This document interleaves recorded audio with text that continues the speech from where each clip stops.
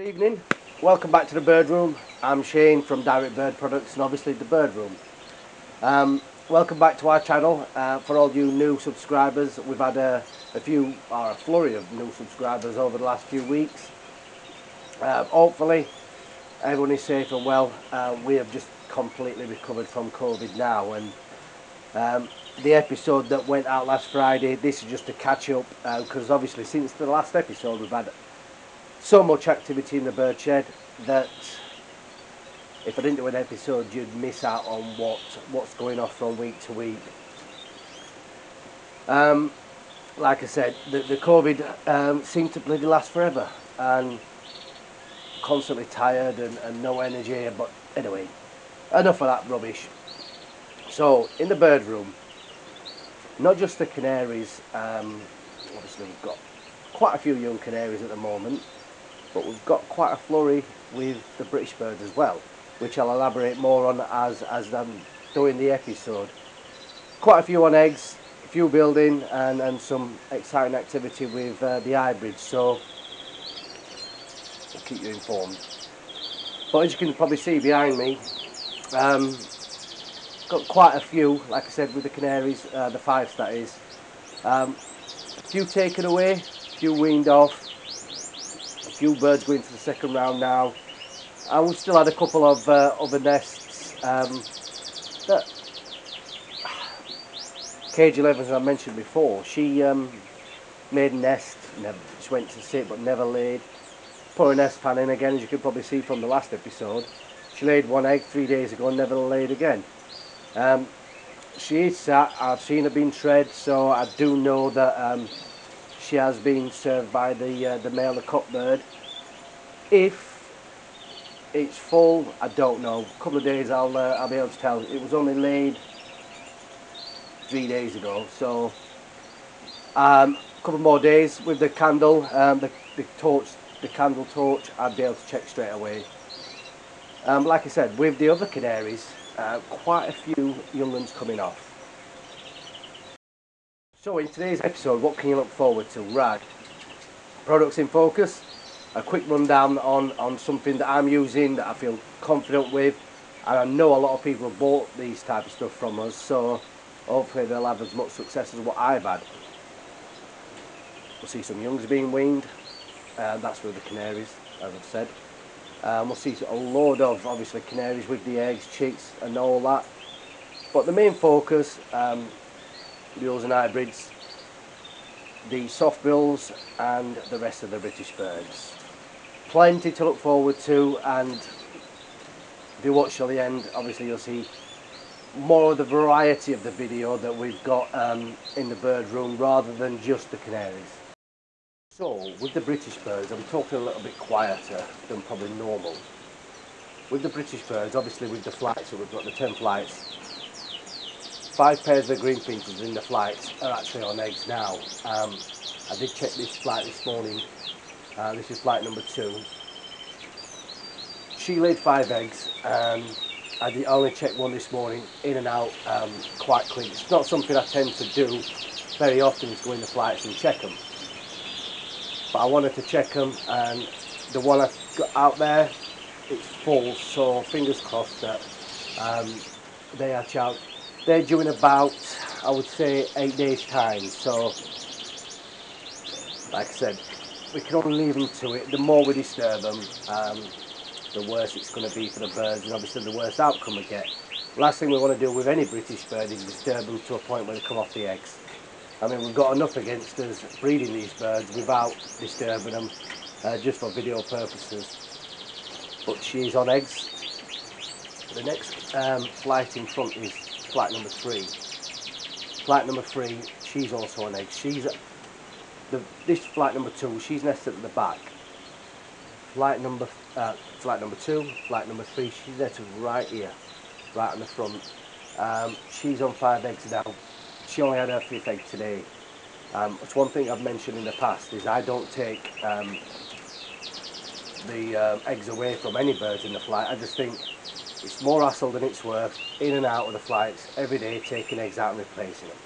I think the easiest way is just to leave them and, and not just that one thing I have found is with the Ardbills, um, they don't tend to sit as heavy anyway or as, um, as tight as we know it, as, as what the, um, the Canaries may do. Um, they tend to wait till all the, the clutch is finished and then incubate them all together. In flight number four, we have another pair of green finches, um, also on eggs. They lay the same time as, as this one here, so they're all uh, varying, um, I mean one day in between uh, the odd one or two. Um, flight number four actually had eggs um, two weeks ago, um, it's what I did mention. Uh, unfortunately them eggs were clear, um, I've not checked them, like I said they're only a few days in, but end of day, least disturbed the better. The flight after that is the chaffinches. Now, these are coming to fabulous condition and I, I'm almost pretty sure she's building up. I've not um, spent too much time uh, watching her, uh, see where she's building. But every time I put nesting material in for her, um, I say come down and take it away. And so obviously she's building somewhere, and as you will see in the pictures or, or in the short video, um, at some point there's, I, I, I would say that, in my opinion, should go probably go for the back nest but she may go for the front nest like she did last year. Um, that pair of chaffinches there is the one that were in the cage before, um, uh, which went to nest, but obviously went in the moult. So hopefully um, this time they're in the flight, nice and early enough for them that um, they will sit and, and rear a, a nest of young. As we're moving up through the flights, the next two flights from that is a pair of green finches in each one. Also, like I said, on eggs. Um, same thing again, not check them, but I will check them after about 10 days. At least at that point, if they are clear, I've got no problem taking them away, especially with the green finches. And, and they should go to nest again within two weeks of me removing them. They're not like some birds which they'll get a bit morbid about it and mope about for a few days, wondering what's going on. Green finches done it many a time, just take the, the um, eggs away, pull the nest apart and they'll, they'll start building up, like I said, sometimes within a week. The um, flight number eight, no, flight number nine, sorry, is the brambles. Today, or this morning, I put some uh, fresh conifer in there, um, spruce things up for them, um, as I've seen them start pulling things about as well. So um, Still very early for bramble finches, but I don't want to knock them back by leaving them another two or three weeks and and start dressing the flight that way. That was the only one that I didn't really do because they were it was settled as it was anyway. Hopefully this year we can get some off them that actually uh, make it to the sticks because obviously as you know last year we had um, a couple hatch um, she never fed them but she, obviously she went egg bound and a load of issues with that. So the last flight has got the soft bills in as I've explained in the previous episode. The soft bills in that flight are bearded tits, bearded reedlings, whatever you want to call them. Um, cage number two is back on chicks just behind which you'll see shortly. And she's just feeding her young which have just actually spawning. So brilliant to see because I know two had actually spawning when I came in so hopefully um, the other two have actually. But anyway, flight number 10, the bearded reedlings. They've only been in there, I would say now, three weeks. Um, what I did is basically went and bought some bamboo. Uh, in the wild, obviously, what they do is nest in reeds, in reeds near water. Um, dress the flat with two um, plants of bamboo, straight at the front, and a couple of um, the wicker nests, which I use for the green finches. Um, different different styles, an half, an half um, I would say an half dome type nest and a, a, a generic cocoa one. She's, she's built up actually this morning. I, I went in there and she's built up. I've not actually checked if she's had eggs. I didn't want to disturb them too much because last time I went in the flight she got out straight away so luckily at that point I had the windows closed so she would have been straight out. First place she went straight up to the window and knocked out into the window so I'm not planning on uh, losing a cock or an hen by getting out just for me going and checking. But hopefully, um, next week she may have eggs. She may have eggs now. I don't know.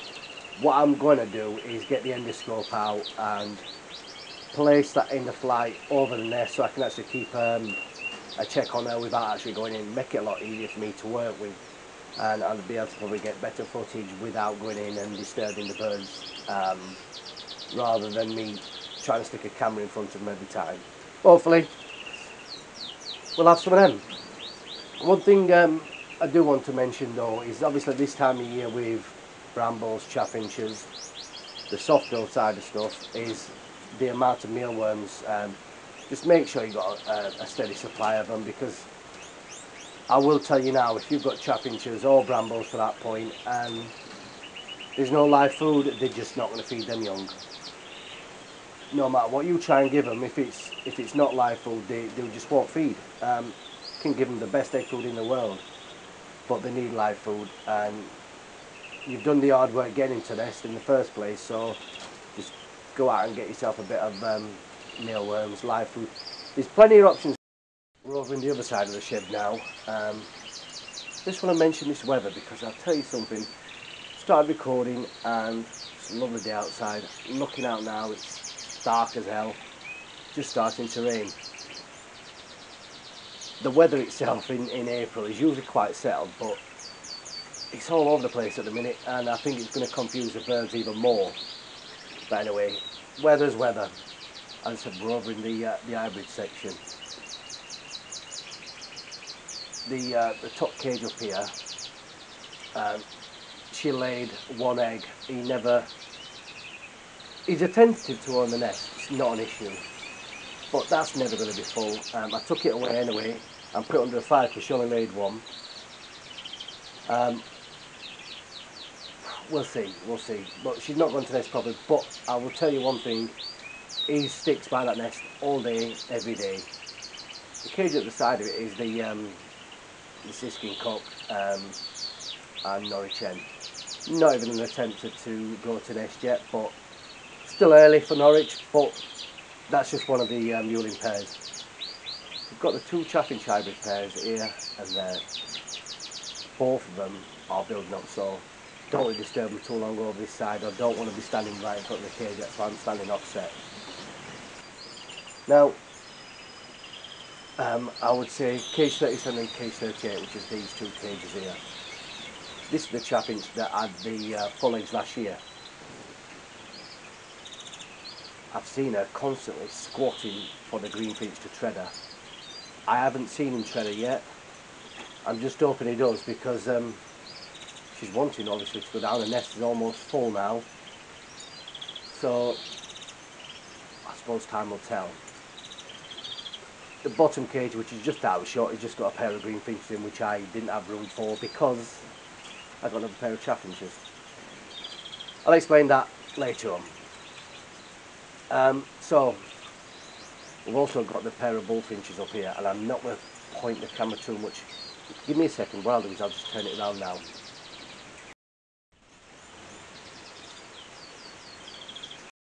Not, as soon as I put the camera on her, she came off the nest. Now, um, the bullfinch with the greenfinch um, laid her first egg today. Now, same thing again, I've seen her squatting to be tread by the greenfinch numerous occasions. I've not seen him do it yet. Remember last year, um, he was feeding on the nest, so I know they're quite bonded. I did take him away for a few days and she was calling for him constantly, so I had to put him back in. Uh, it was it was horrible. He's calling for her, she's calling for him. Put him back in there and he seemed settled. But good job I did because um, that was before she'd actually gone to nest. So she's gone to nest, She's laid her first egg today. That was just a quick look at some of the uh, British birds or native birds, whatever you want to call them. Um, hopefully things are going to pan out this year. I'm going to get quite a few of, well it's not a few, I want, I want um, one good one of each. That'll do me, I'll be happy with that. Um, now let's head over uh, to my office. I just want to talk to you about a few nest pans that um, I think are a must and it's going to be products in focus. So for the products in focus, like I mentioned before, um, we have a number of obviously various different types of nest pans that we do sell and ones I do use myself. I think my personal choice is obviously um, down to trying different nest pans throughout the years. I mean years ago all I would use is something just like this um, attached to the back of the cage. Now the reason I don't anymore is because obviously the back of the cage, if, if you have got my, they've got easy access climbing at the back of the cage, um, straight up in here and into the nest felt and obviously getting onto your birds at that point. Whereas where I see it nowadays is by hanging them on the front, not is it only easy access for you to look at your birds, it's less contact area for the mite to accumulate. They're obviously not going to be at the back of the nest that um, where the um, back of the cage meets the actual nest pan. No matter what you do, um, whether you cover it in Vaseline like I do and, and use all the precautions that you're going to get, you're still going to get some mite at some point. Years ago I remember, um, this was back 2000, 2005 or whatever, and I lifted the nest pan up, there was no sign of any mite whatsoever on the nest. I lifted it up from the back of the cage and all here was covered in mite. And obviously ever since then I've tried to use things that I feel that would slow them down if anything. And like I said the the whole point of it is easy access unfortunately we have sold out of a lot of these these type and you will see a lot of people um, probably on Facebook using them if you haven't already got them from us already people that have obviously have sworn by them I do use them. Um, like I said, all they do is hook onto the front of the cage uh, with two hooks like that and you can keep an eye on your birds a lot easier. We do also have um, two different sizes in, in this type. The, the bigger ones actually, and you, they've got connectors here, the Sled obviously brand new. You can actually use them on the front of the wire or on the back of the cage where you can still quick release on them. I mean this one's just coupled with um, the Coco, um, this is the ring type um, nest liner for your bullies or whatever. Ideal, um, these are obviously quite big ones, so all finches, perfect for that size. Obviously your exhibition green finches are bigger, so again ideal for that size as well. But if you're using them for canaries, um, these ones here these are ideal for any type of canary. Um, your, your Norwich and stuff, yeah, they're, they're ideal, but obviously this is a borderline, um, obviously the borders, and, uh, borders, Norwich, Yorkies, that type of bird, this is, I wouldn't go any smaller than this, put it that way. Um, so this one is a quick release one as well. Let me just take that off. So basically this port there goes on your front bars and then just obviously slips in. Um, they go ideal with uh, any uh, standard nest felt or if you are breeding British birds the, uh, the smaller cocoa nests fit them ideal. Perfect coupled together but like I said it, it's just what you feel comfortable with and what you um, are happy using. But I mean if if I was to start again this season, I probably would use these. But at the end of the day, I'm one for if you've already got things that are working for you, carry on using it regardless of that. If it suits you, there's no point in changing it. But like I said, these are ones I've used and I'm, I'm still using them now. And I'll explain more when we get into the bird room.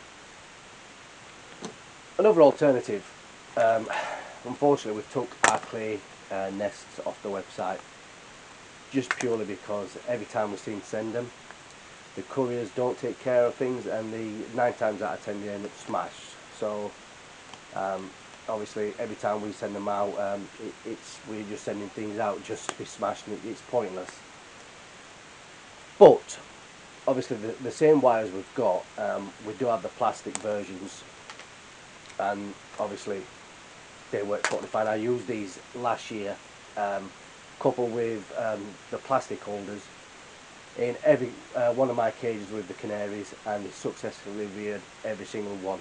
Same again, hang on the front, these hang on the front of the wires and away you go. I don't think um, anyone's obviously, everyone's used these at some point, this type. And like I said again, if it works for you, it works for you. Um, I'm just telling you some options of what I feel. But definitely product in focus for me is front hanging nest pans.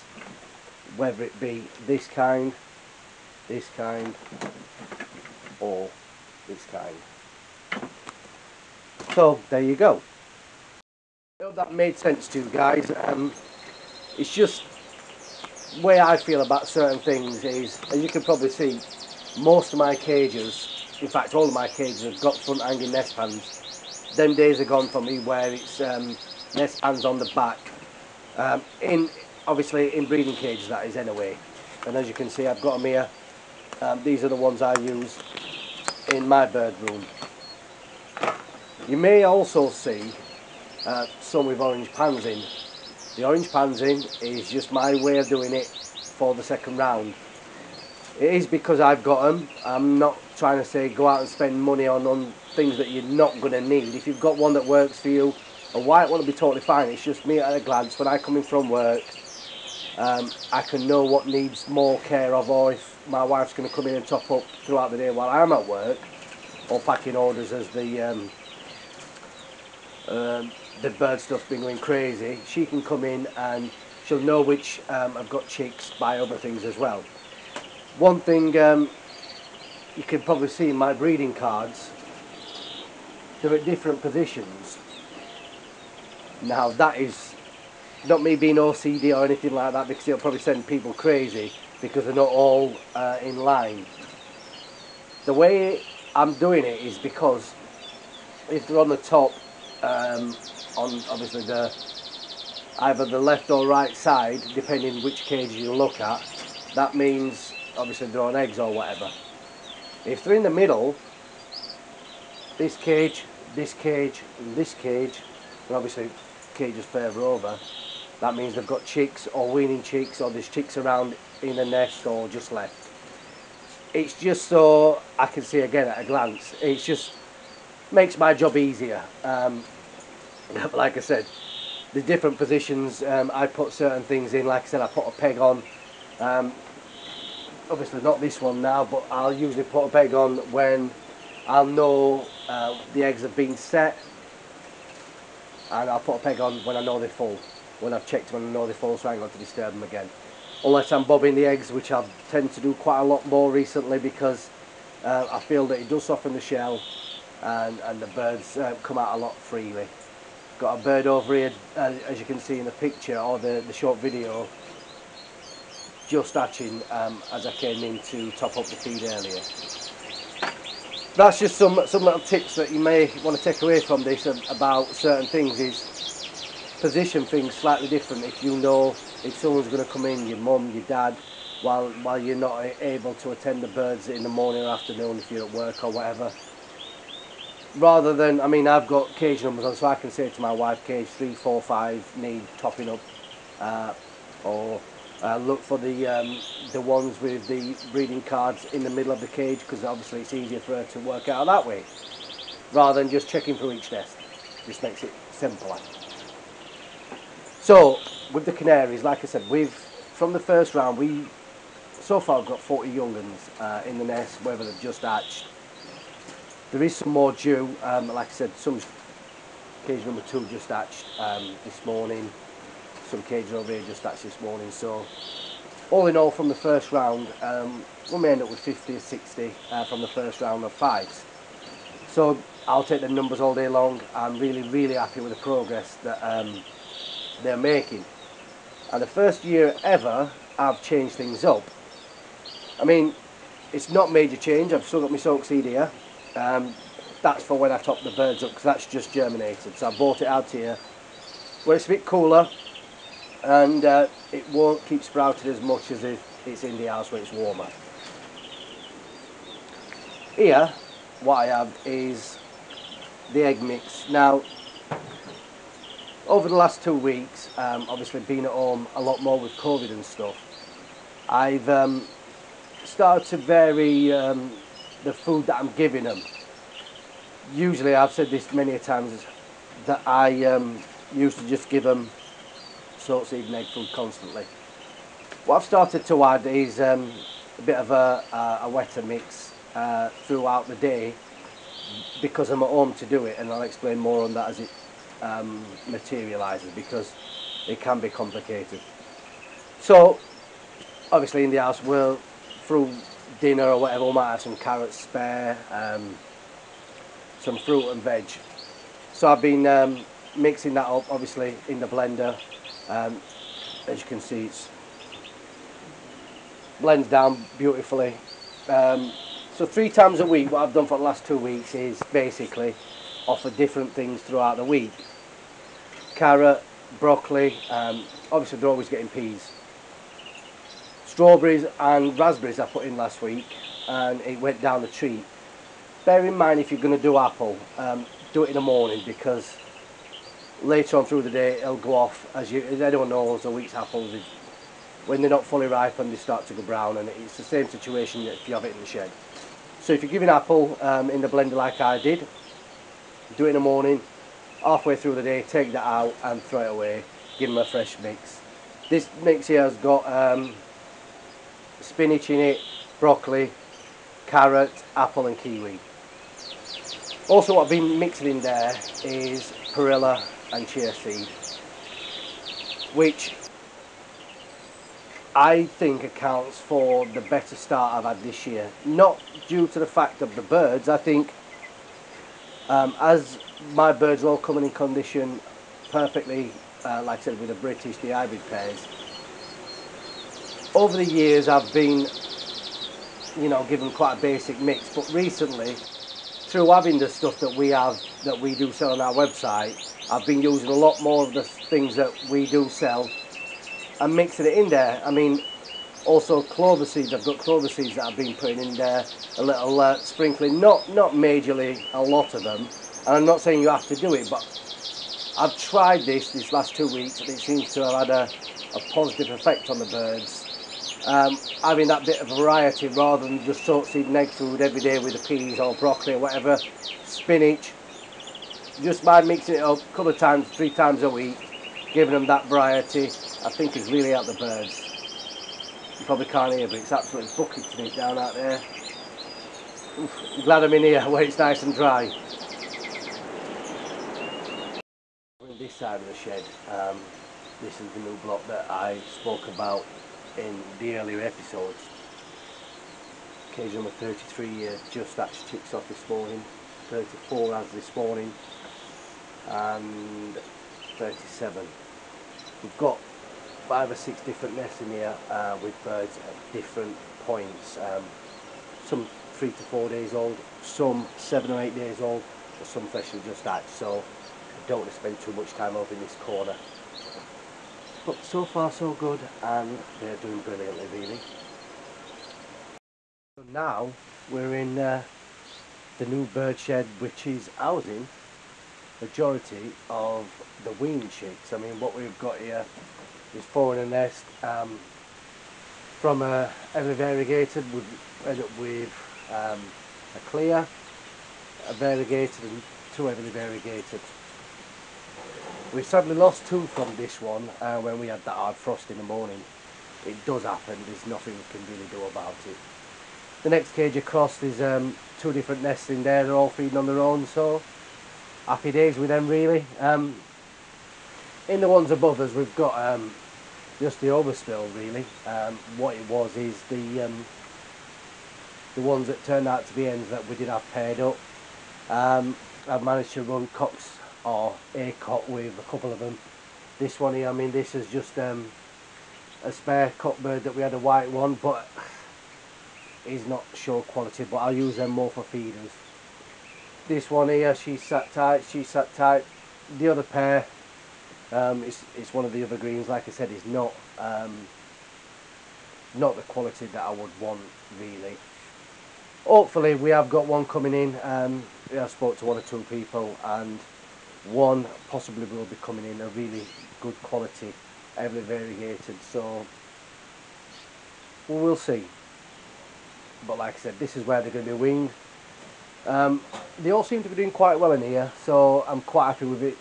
100% loads of natural sunlight, Um, they're all feeding on their own, um, well except for this cage here.